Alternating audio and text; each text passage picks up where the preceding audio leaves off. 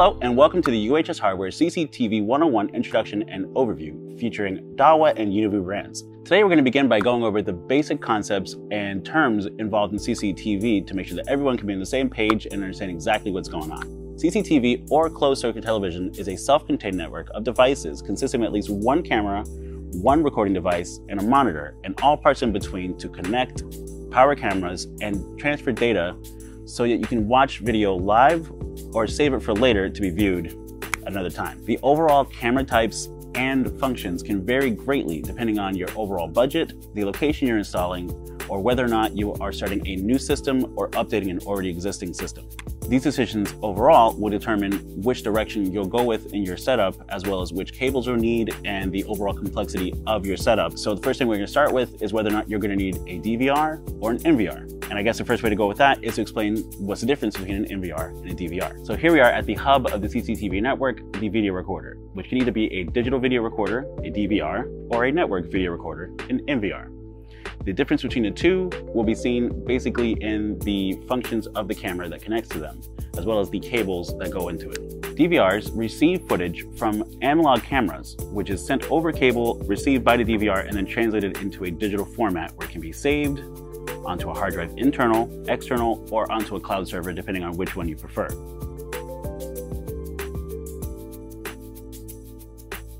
While an NVR receives digital footage direct to it already translated from the actual IP cameras.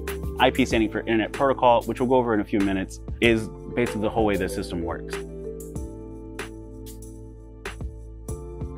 So the main differences side by side are that NVRs are the newer system. The footage received by them is in most rights a higher quality depending on what you do in your setup or what cameras you purchase. NVR setup, however, is a bit more expensive going forward and starting out than a DVR setup.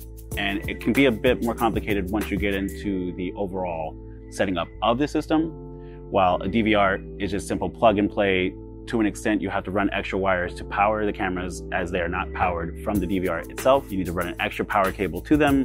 And also they don't record audio in most rights and you would also need an extra cord for that as well. So that all needs to be thought of and planned of ahead of time. While in NVR, each cable, it's a single cable going between the NVR itself to the cameras. In most cases, sometimes they do need to be powered separately, but it's not usually the case. If desired, an NVR system can be completely wireless, while a DVR system will always be fully wired. And the IP cameras, which once again are much newer and have newer software, as well as sometimes artificial intelligence involved, can do things like identify faces, license plates, vehicles, and movement, all sorts of things that you don't normally get with a normal analog camera. One IP camera can probably cover as much as multiple analog cameras can.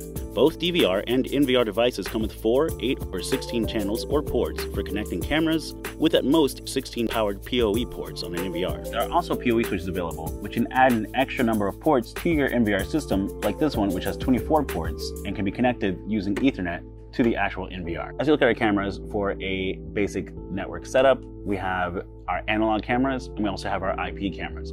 If you look at them, there's not much difference in the way they look. The overall difference between the two of them is going to vary in the connectors and their outputs. So if you see here on our analog camera, we have a BNC connector, which is going to be our cable connector, as well as our power connector, and then a switch to switch between the actual output of the analog camera between CVI, CVBS, TVI, and AHD. On our IP cameras, however, we have this white cable, which has on it the overall PoE plug, or in the case that you don't have PoE and you just have the Ethernet only, an actual power cable to power your camera. And that's all you need to get this working. Some of them do have higher functions such as alarm or audio out. Camera styles and functions. Camera styles can vary a bit such as bullet cameras made for internal and external uses. Great for covering a single point of view and letting passersby know if and when they're being seen. Eyeball cameras, which mount flat and can be positioned indoors for viewing a single direction and keeping a lower profile. Dome cameras, which function similarly to eyeball cameras, aside from their protective dome, which aids in defending against tampering and obscures the cameras from view, making it harder to find possible blind spots. PTZ cameras or pan tilt zoom are a turret style camera with remote point of view control, able to be turned left and right, look up and down, and zoom in on a subject during the live recording by the user. Cables and connectors. For analog, BNC connectors are compression style analog connectors used to terminate analog video cable. Secure, dependable, and easy to use. Siamese cable, a combined run of coaxial cable RG59 with two insulated power cables to power analog camera and transfer data to the DVR. VGA cable, a legacy analog video cable used to connect video output to an older monitor without HDMI. HDMI, the standard for transmitting high-res digital audio and visual data to current video monitors.